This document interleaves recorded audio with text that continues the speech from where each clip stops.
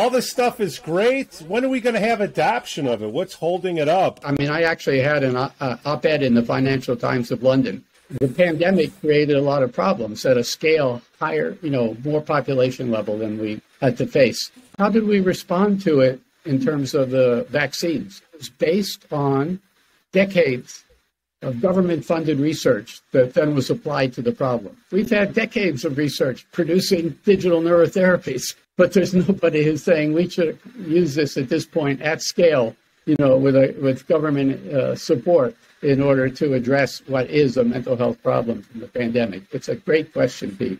Our, our, our field is really quite respectable for ADD and for epilepsy, it's as good as or better than neurology is doing. We will penetrate into general practice. We're, we're probably a decade out. It's got to penetrate universities and then the market.